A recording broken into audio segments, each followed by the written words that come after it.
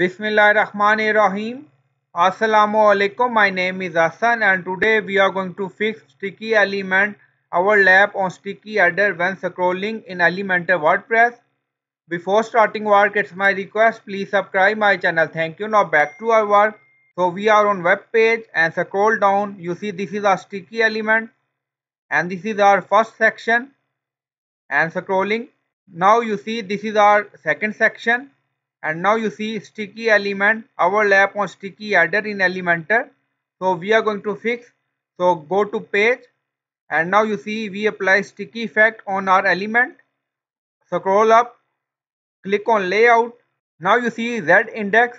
So it's mean our Z index property is higher than Z index property of sticky header. Now go to Elementor again. So add here 0 and then click on update.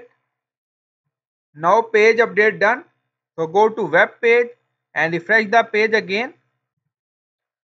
Now scroll down. You see this is our sticky effect. And now this is our second section.